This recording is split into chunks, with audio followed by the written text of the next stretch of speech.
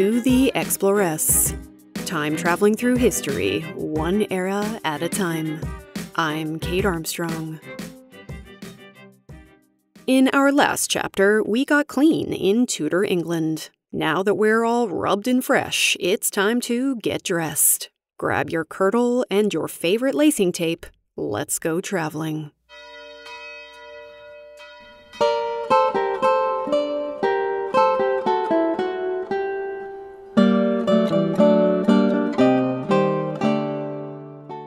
What we wear, and particularly what type of fabrics we put on our bodies, will depend a lot on our level of wealth, our social station, and the slice of Tudor history we're time traveling back to. But we'll all be starting with the same basic base layer. It's that staple of our wardrobe, the linen smock, which we will later in history call a shift, and even later, a chemise. Yes, we did wear a chemise when we went to Victorian Age America in season 1. Good memory. Picture a simple nightgown, two rectangles of linen sewn together, with two triangular bits sewn in at the sides to give it a bit of shape. This will serve as our underwear. Sure, there are European ladies who wear boxer shorts like the men do, but there's a whiff of the courtesan about it. So, if you want to start a scandal, you feel free.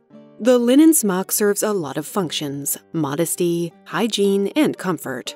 Linen is made from long fibers like jute, hemp, and most commonly flax, making it strong, soft, and breathable. Hot Tudor tip, it also tends to get cold to the touch. So if you have servants, you might ask them to warm it for you by the fire of a morning. Or you might just pull it into bed with you to take the chill off. Our smock captures our sweat, which is good because it's the only layer of our clothes strong enough to hold up under frequent washing. That's why many still call laundry baskets linen baskets in our era.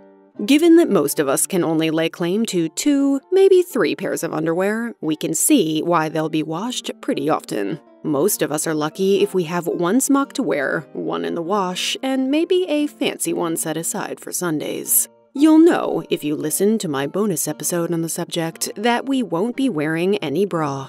No matter. As we'll see, our outer garments will give us all the constraint we might ever want. Our hose come next. Men and women both wear them. But while men's hose tend to be on display, we want ours all covered up. They're really more like knee socks than pantyhose. It's likely that they're knitted, wool for most, and silk for the fanciest amongst us. No matter how crude or fine, though, they have no spandex in them, and that means you'll need a garter at the knee to hold them up, either knotted or closed with a teeny tiny buckle. So that's our base layer, the most critical layer of protection against exposure to the noxious air. Where we go from here, clothing wise, depends a lot on our station. We'll get dressed with a royal lady later on in the season, but for now, let's cover the basics of what your average lady might wear.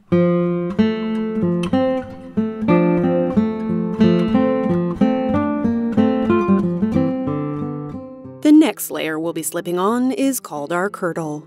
The kirtle is a full length dress with a skirt and a snug fitting bodice, given shape with a lining of canvas or buckram and often reinforced with wooden rods. To secure it, we will lace it up the side or back. But how to lace it if your ties are behind you? Well, we'll use a spiral lacing technique. Don't worry, I'll talk you through it. Let's turn to our kirtle laid out on the mattress. See all those little eyelet holes in that long piece of cord? We're going to lace up our kirtle by going around in a spiral, not crisscrossing like you do with your modern running shoe. Once you've laced it loosely, just shimmy under and into it, and once it's where you want it, pull on the end of the long lace to slowly tighten it, shimmying and jiggling everything into its proper place. We might stop here if we're a working woman. The kirtle is all we really need. It's modest and sturdy, usually made of the ever versatile wool. It'll keep us warm and is thick enough to protect against stray sparks, thorns, the sun, you name it. But we can also fancy up our kirtle, should we choose to, by our choice of material, say, or with the addition of beadwork or embellishment. We can also dress things up by wearing a gown over the top. The gown, which usually laces up the front, will generally be lower cut, with that Tudor signature square cut neckline and shorter sleeves. The gown has a big slit that starts around the navel and drops down to the floor, revealing flashes of your stylish kirtle. Or it might also show your forepart. Picture a square of fabric that you pin over your kirtle, kind of like a false apron. That's a forepart. Tudors are fond of adding detachable, mix and match details to their outfits, particularly in fancy fabrics. Detachable sleeves that match our forepart are a favorite. Why? Because, as we'll talk about shortly, fabric is crazy expensive. These detachable extras let us jazz up and freshen our outfits without breaking the bank. The other bit of flair we might add on is called a placard, a stiffened piece of chest armor that'll cover up the front ties of our gown and give us the rigid shape that comes to mind when you picture Anne Boleyn. These will be particularly handy if we're pregnant, as we can lace our gown quite loosely underneath and no one will be able to tell. Another wardrobe staple for the non working woman is a farthingale. When Catherine of Aragon, Henry VIII's first wife, sailed over from Spain, she brought the farthingale with her. The term comes from the Spanish word verdugos, which is used to describe the smooth willow twigs that are sewn into these skirts to make them bell out a bit from a woman's legs. It's basically an early form of hoop skirt. It gives us the desired silhouette of the time, but also allows us ladies to take up a little more space and make a statement. If our King Henry VIII loves anything, it's flash. But wait, I don't remember hearing mention of buttons or zippers, so how are we keeping all these layers on our person? With the help of a whole lot of straight pins. There's a reason we ladies need our pin money. A Tudor outfit for both men and women is essentially stitched together every morning piece by piece. A laborer might only need four or five pins to hold together her clothing, while a lady hanging out at court might need up to a thousand. During her reign, Elizabeth I will have some 24,000 pins of different sizes delivered every six months. If you were to scour a fancy Tudor floor, I bet you'd find these babies everywhere. We might also fasten our clothes with what are called points short strips of leather, cloth, or braid with metal points on both ends, kind of like our modern shoelace. Most of our points are made of silk and braided. They're strong, shiny, smooth, and a pretty affordable touch of luxury. They also make an inexpensive courting gift. We'll do more of a deep dive into Tudor fashion in a future episode, but for now, let's get going because we're dressed. Just make sure not to step too close to the fire. We Tudors go to great lengths to keep our clothes in good condition because they are precious to us in a way that many modern ladies might struggle to fathom. And so it's one we should spend some time chewing on.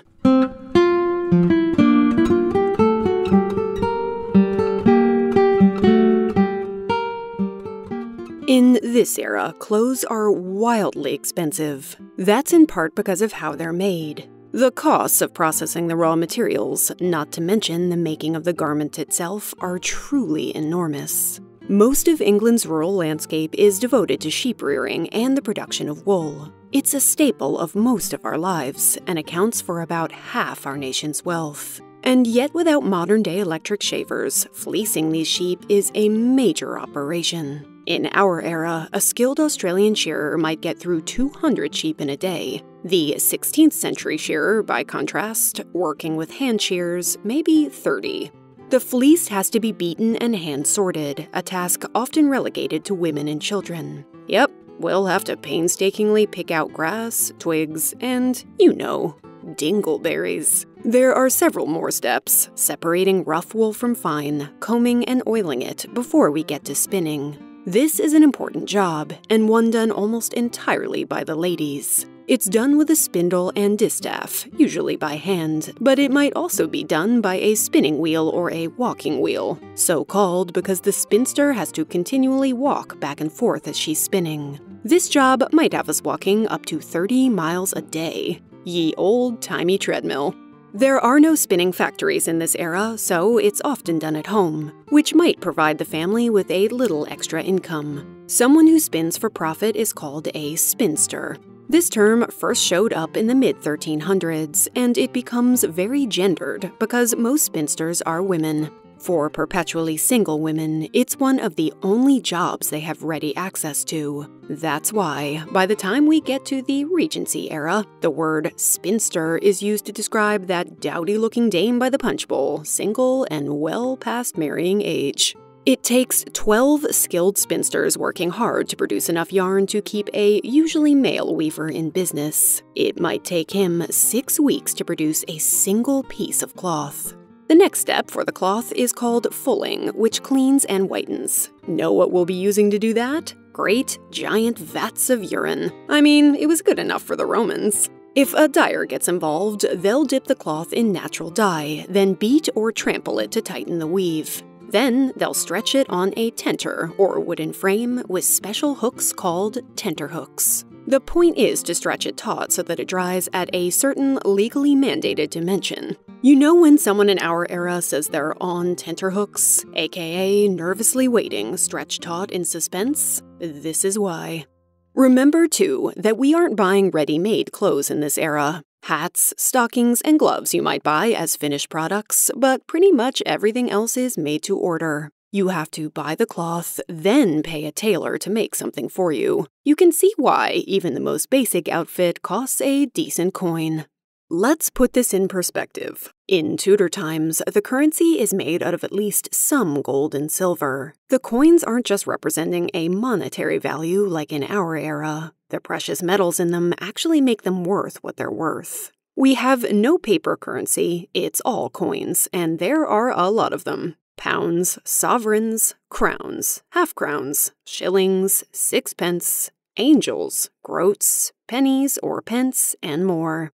I won't detail what they're all worth, but a few that are worth knowing for the moment. One sovereign equals one pound. A pound is 20 shillings, and a shilling is 12 pennies. Toward the end of the 16th century, an unskilled laborer will earn somewhere between 5 and 10 pounds a year. An average day laborer's wage will be 6 pennies a day. A loaf of bread will cost you about a penny, and a pound of cheese will cost one and a half. But to have a basic canvas shirt made will cost you around two shillings. That's 24 pennies in case you haven't been counting. And that equals four full days' work for the laborer. Even a worn out second hand shirt that you're going to use mostly as a dish rag is worth about two pennies, or a third of your day's wage. Clothes, all clothes, are in many ways a luxury item, a way of showing off your status as well as clothing your body. Take this example Robert Dudley, Queen Elizabeth's favorite, will pay the same amount for one of his suits as William Shakespeare will pay for his house in Stratford upon Avon just one decade later. Textiles and clothes, almost more than anything else, underscore the huge monetary gap between the humble farmer and the nobleman. At the very top of the social scale, Henry VIII can afford to pay £1,500 for 10 tapestries to decorate his walls with, while a skilled shipwright will only make about £12 a year. And these weren't even Henry's finest wall hangings.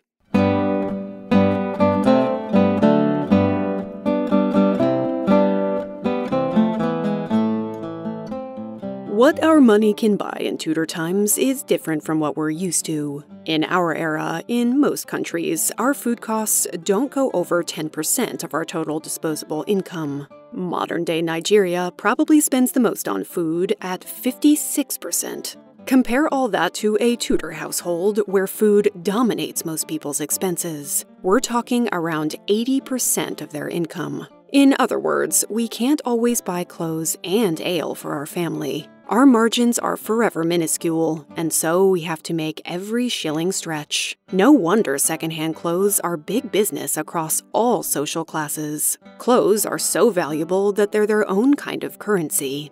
We don't have banks in Tudor England, but that pair of silk hose can be converted to cash by sale or pawn. A lot of people move their nicest outfits in and out of pawn, using it as a kind of loan library. In the late 1590s, theatre manager Philip Henslowe will lend one Mr. Crouch £3 10 shillings against the security of his wife's nicest gown.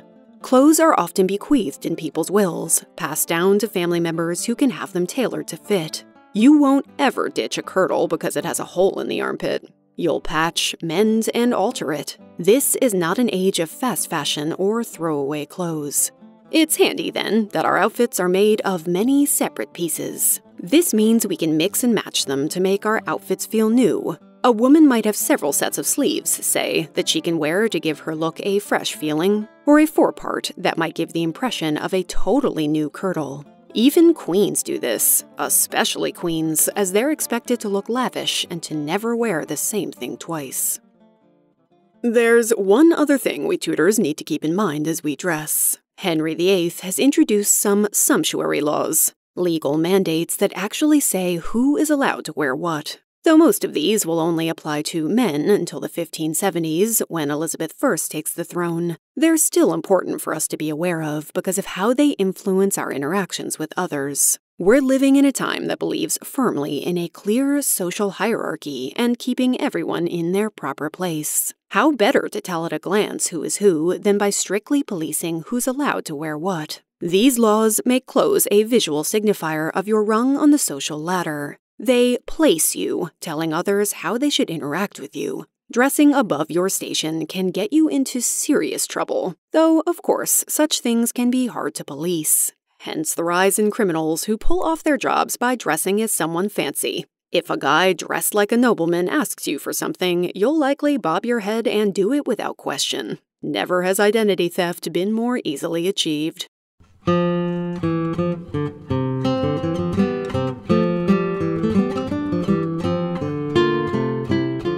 Now we'll get out a brush and untangle our hair. We won't have washed it with anything like the shampoo we use today. So, how are we going to keep it from getting all greasy? There are people in our era who argue that shampoo is part of our problem, not the solution. It strips the grease and oil from our hair, and then we have to add moisture back in with some conditioner. Your scalp bumps up oil production to try and replenish the lubricating oils you just removed, which makes our hair get greasier faster. If you leave your hair to its own devices, the theory goes, your scalp will regulate its oil production, and eventually things will even out. It helps if we brush it regularly. To do this, the Tudors all use a simple, vital tool, the two-sided comb. One side has wide teeth and the other very fine teeth. Here's our time-traveling companion, Ruth Goodman. If you're using the wide side, you're busily getting tangles out of your hair. It's that's about looking good, you know, about getting yourself looking nice, getting it un, groomed. It looks nice. The fine side is about getting nits out of your hair. It's a nit comb. It's about physically removing any parasites that are in your hair. And it works. It also helps distribute the oils through your hair from scalp to tip.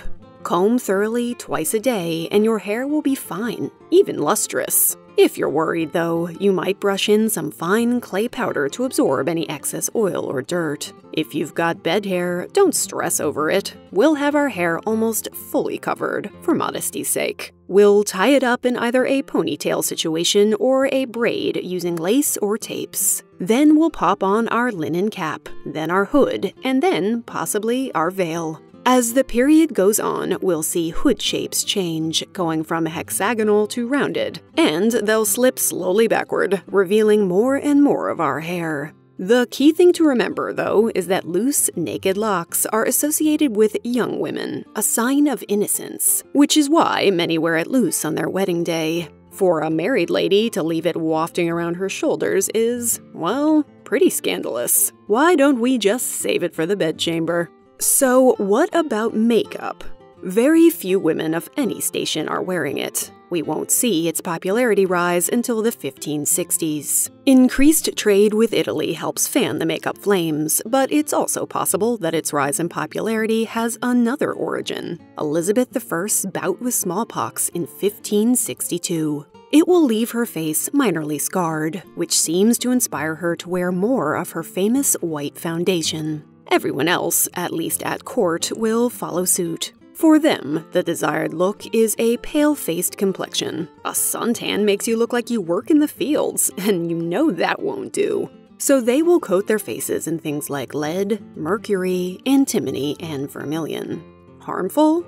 Very.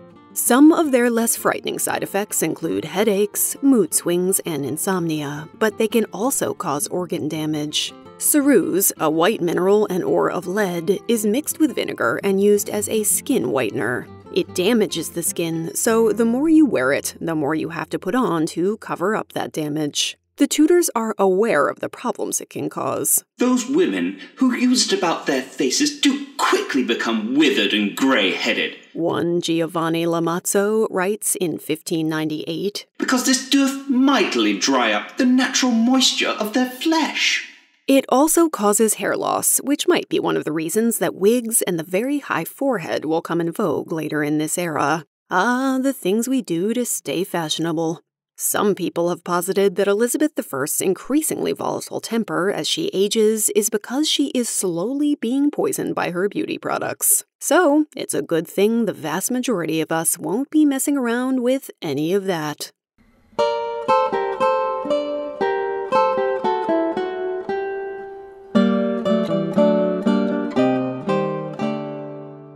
Now we slip on our shoes, which are likely to be sturdy leather with fairly thick soles, and we're ready for action. Can you believe we haven't even left the house yet?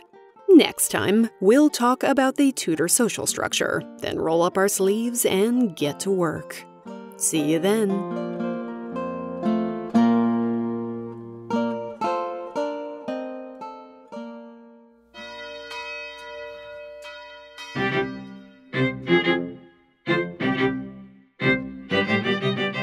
Thanks for listening.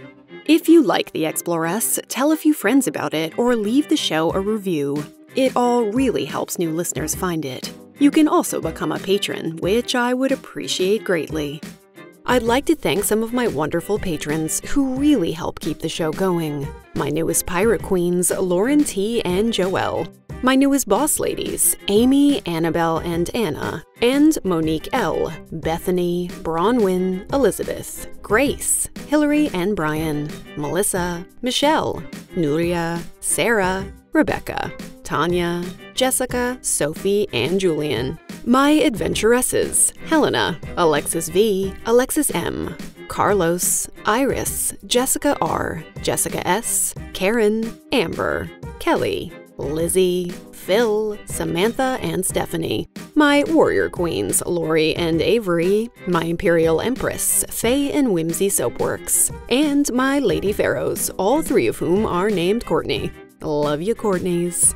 For just a few dollars a month, patrons get prizes in the mail, early access to all my episodes, full interviews, polls, Q&As, as well as exclusive bonus episodes you won't find anywhere else. To find out more, just go to my website. Thanks so much to Ruth Goodman for time traveling with us. You can find her at her website, ruthgoodman.me.uk. At the moment, you can watch pretty much all of Tudor Monastery Farm, the show I referenced several times, on YouTube.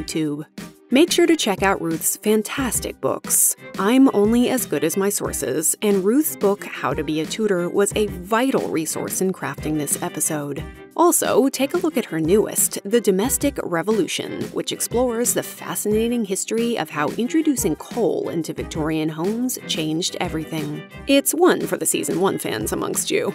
The period appropriate guitar music you just enjoyed comes courtesy of John Sayles. For show notes, including a transcript, images, and a list of my sources, just go to my website, theexploresspodcast.com. You can also find me on Instagram, that's my main social media game, Twitter, and Facebook. Thank you, as always, to Mr. Exploress for my theme music and logo, and Neil Hobson for his excellent vocal stylings.